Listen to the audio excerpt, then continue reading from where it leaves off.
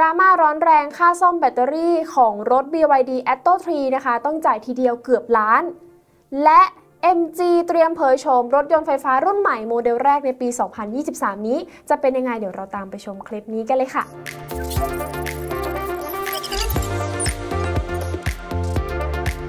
วันนี้วันที่ 10 มีนาคม 2023 นะคะ วันนี้พลอยก็มาสรุปข่าวที่เกี่ยวกับแวดวงรถยนต์ไฟฟ้าที่น่าสนใจ ที่เกิดขึ้นในช่วงสัปดาห์ที่ผ่านมาให้ทุกคนได้ชมกันนะคะ แต่ก่อนที่เราจะไปชมข่าวที่น่าสนใจเนี่ยยังไงพลอยก็ฝากกดติดตามช่อง i m o d Official กันไว้ด้วยนะคะ จะได้ไม่พลาดข่าวสารที่พลอยมาอัปเดตให้ทุกคนได้ชมกันแบบนี้ค่ะ มาเริ่มที่ข่าวแรกกันเลยนะคะ เกิดอุบัติเหตุรถ BYD Atto 3 ชนเกาะกลางถนน ประเมินค่าซ่อมแล้วต้องจ่าย 1.1 ล้านบาท และแค่เฉพาะค่าซ่อมแบตอย่างเดียวก็ต้องจ่ายเกือบ 9 0 0 0 0 0 บาทแล้วค่ะเมื่อเดือนกุมภาพันธ์ที่ผ่านมานะคะเกิดอุบัติเหตุรถ BYD Atto 3 ชนเข้ากับเกาะกลางถนนนะคะทำให้เกิดความเสียหายที่ตัวรถล้อข้างขวาระเบิด รวมถึงแบตเตอรี่ที่อยู่ใต้ท้องรถด้วยนะคะ ซึ่งหลังจากที่ศูนย์ BYD มาประเมินความเสียหายเนี่ยก็ได้ตีค่าซ่อมรถคันนี้อยู่ที่1 1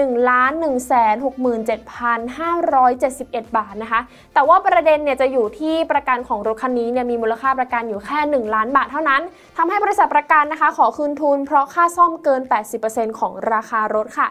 ส่วนสาเหตุที่ค่าซ่อมราคาสูงเนี่ยก็มาจากการซ่อมแล้วก็เปลี่ยนแบตเตอรี่นั่นเอง ซึ่งแค่เฉพาะค่าเปลี่ยนแบตนะคะ ก็ปาไปเกือบ 9 0 0 0 0 0 บาทแล้วค่ะ หลังจากนั้นเนี่ยก็มีคนแชร์เรื่องราวนี้ออกไปนะคะทาง BYD Railway Thailand เขาก็ได้ออกมาประกาศราคาค่าแบตของทั้ง 2 ความจุ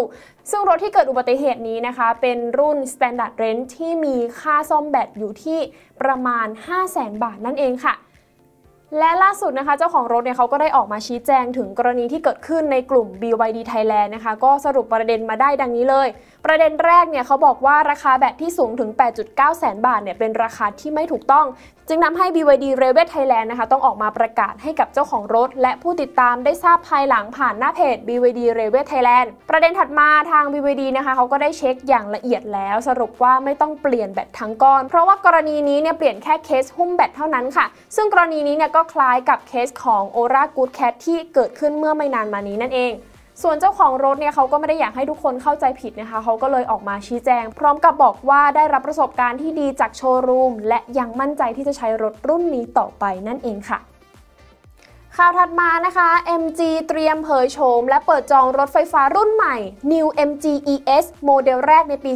2023 นี้ค่ะสำหรับ New MG ES นี้นะคะเขาชูเรื่องของความสะดวกสบายและใช้งานได้ทุกรูปแบบ ผ่านแนวคิดการพัฒนารถที่มีเอกลักษณ์สไตล์ Brit Dynamic นะคะทั้งด้านสมรรถนะการขับขี่ จากขุมพลังมอเตอร์ไฟฟ้า 100% generation ใหม่ การควบคุม ดีไซน์ รวมถึงความปลอดภัยแบบจัดเต็มด้วย เปิดจองตั้งแต่วันที่ 13 ถึง 19 มีนาคม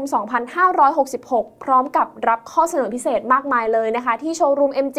เว็บไซต์ออนไลน์ booking.mgcar หรือจองผ่านแอปพลิเคชัน MG Thailand ก็ได้ค่ะ Tesla ได้อัปโหลดข้อมูลโมเดล S Plate และโมเดล X Plate ลงบนเว็บไซต์ของประเทศไทยแล้วค่ะ ที่หน้าเว็บไซต์ของ Tesla ประเทศไทยนะคะได้ทำการอัปเดตข้อมูลรถยนต์ไฟฟ้า Tesla Model S Plaid และ Model X Plaid เป็นที่เรียบร้อยแล้ว โดยรถทั้ง 2 รุ่นนี้เนี่ยเป็นรถ production car ที่มีดีไซน์เหมือนกับรถซีดานบ้านๆทั่วไป แต่ว่าสเปคเนี่ยแรงกว่าซูเปอร์คาร์หลายคันอีกค่ะ ถึงแม้ว่าเทสลาเขาจะเพิ่มข้อมูลเข้ามาที่หน้าเว็บไซต์ประเทศไทยนะคะ แต่ก็ยังไม่ได้มีกำหนดการเปิดขายในไทยอย่างเป็นทางการ ใครที่รอรถทั้ง 2 รุ่นนี้เนี่ยก็ต้องตีตั๋วรอกันไปยาวๆเลยค่ะ และนอกจากนี้เนี่ยก็ยังมีข่าวเทสลาออกรถรุ่นสีใหม่ในสหรัฐด้วยนะคะ เป็นรถสีแดงที่ใช้ชื่อว่า Ultra Red สำหรับ Tesla Model S และ Model X ถ้าใครอยากสั่งซื้อสีแดงใหม่นี้เนี่ยก็จะต้องเพิ่มเงินอีกประมาณ 3,000 ดอลลาร์สหรัฐนะคะ รวมถึงสีแดง Ultra Red ใหม่นี้เนี่ยจะมีความเข้มกว่าสีแดงรุ่นก่อนหน้า และมีให้เลือกเฉพาะ Model S และ Model X เท่านั้นค่ะ ส่วนโมเดล3และโมเดล Y นะคะจะใช้ชื่อสีแดงว่า Red Multi Code เหมือนเดิมค่ะ โรงงาน Giga Factory Mexico แห่งใหม่ของ Tesla ได้เริ่มเดินหน้าผลิตรถยนต์เต็มกำลังในช่วงต้นปี 2024 แล้วนะคะ หลังจากที่เปิดตัวอย่างเป็นทางการในงาน Tesla Investor Day ที่ผ่านมาค่ะ ในรายงานนะคะเผยว่า Giga Factory Mexico เนี่ยจะเป็นโรงงานผลิตรถยนต์ไฟฟ้าที่ใหญ่ที่สุดในโลก ด้วยมูลค่าการลงทุนกว่า 5,000 ล้านดอลลาร์เลยทีเดียวค่ะ รวมถึงได้รับการสนับสนุนอย่างมากมายนะคะ จากหน่วยงานรัฐในเม็กซิโกด้วย ตรงนี้เนี่ยก็จะช่วยให้ Giga Factory Mexico แห่งใหม่นี้เนี่ยสร้างเสร็จแล้วก็เริ่มผลิตรถยนต์ได้เร็วขึ้นนั่นเองค่ะ และนอกจากนี้เนี่ยเทสลาเขาก็มีแผนที่จะผลิตชิ้นส่วนประกอบอื่นๆด้วยนะคะ อย่างเช่น ผลิตชิปรวมถึงแบตเตอรี่ด้วย ที่ไม่ใช่แค่การผลิตรถยนต์ไฟฟ้าอย่างเดียว เรียกได้ว่าเทสลาเติบโตและขยับขยายได้รวดเร็วมากๆเลยนะคะ อนาคตเราก็คงได้เห็นรถยนต์ไฟฟ้าเทสลาวิ่งบนถนนทั่วโลกกันมากขึ้นค่ะมาดูข่าวรถยนต์ไฟฟ้าของทางเสี่ยวหมี่กันบ้างนะคะ CEO เสี่ยวหมี่เขายืนยันแล้ว พร้อมเริ่มผลิตรถยนต์ไฟฟ้าของตัวเองในช่วงครึ่งปีแรกของปี 2024 ค่ะ เลยจุนที่เป็น CEO ของเสี่ยวหมี่นะคะได้กล่าวว่าการทดสอบรถยนต์ไฟฟ้าของเสี่ยวหมี่ในช่วงฤดูหนาวที่ผ่านมาเนี่ยเป็นไปได้ด้วยดี รวมถึงทีมที่ผลิตรถยนต์ไฟฟ้าก็ทำงานได้ดี และเสร็จเร็วกว่าที่คาดการเอาไว้ด้วยค่ะ และยังกล่าวอีกว่าจะเริ่มผลิตรถยนต์ไฟฟ้าจำนวนมากในช่วงครึ่งปีแรกของปี 2024 นะคะที่ลงทุนไปแล้วกว่า 433 ล้านดอลลาร์นะคะหรือประมาณ 1.5 หมื่นล้านบาทเลยทีเดียวค่ะ พร้อมกับประกาศเปิดรับสมัครพนักงานเพิ่มอีก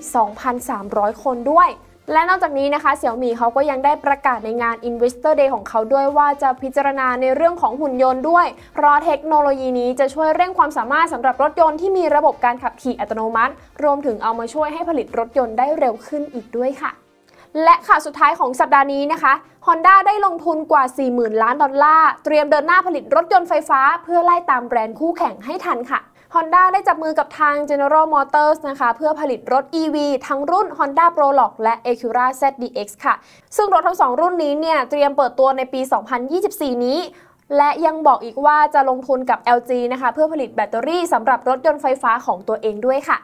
แต่ในขณะเดียวกันนะคะ Honda เขาก็จะยังคงผลิตรถยนต์สันดาปต่อไป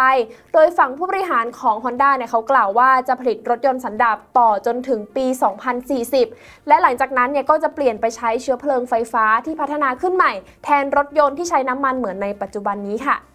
และถ้าหากว่าเทียบกับรถยนต์ไฟฟ้าแบรนด์อื่นในตลาดเนี่ยก็ถือได้ว่า Honda ก้าวเข้าวงการนี้ช้าไปหน่อยนะคะเพราะว่าตอนนี้เนี่ย Honda มีรถยนต์ไฟฟ้า 100%เพียงรุ่นเดียว ก็คือ Honda E ที่เป็นรถแฮชแบ็กขนาดเล็กนะคะที่เปิดจำหน่ายแค่ในประเทศสหรัฐอเมริกาเท่านั้นค่ะ อย่างไรก็ตามนะคะตอนนี้ Honda เขาก็ได้จับมือกับ General Motors แล้วในการผลิตรถยนต์ไฟฟ้ารุ่นใหม่ 2 รุ่นในสหรัฐ ได้แก่ Honda Prologue แล้วก็ Acura ZDX ซึ่งทั้ง 2 รุ่นนี้เนี่ยก็จะเปิดตัวในปี 2024 ยังไงก็ต้องรอติดตามกันต่อไปค่ะและนี่ก็เป็นข่าวที่เกี่ยวกับแวดวงรถยนต์ไฟฟ้าที่น่าสนใจนะคะ ที่พลอยเอามาสรุปให้ทุกคนได้ชมกันค่ะ ถ้าใครมีประเด็นไหนสนใจเพิ่มเติมนะคะ ก็สามารถคอมเมนต์เข้ามาพูดคุยกันได้ใต้คลิปนี้ได้เลยนะคะสำหรับคลิปนี้เนี่ยพลอยขอตัวลาไปก่อน ยังไงก็ฝากกดไลค์กดแชร์แล้วก็กดติดตามช่อง iMode Official กันไว้ด้วยนะคะ ไว้พบกันใหม่คลิปหน้า สวัสดีค่ะ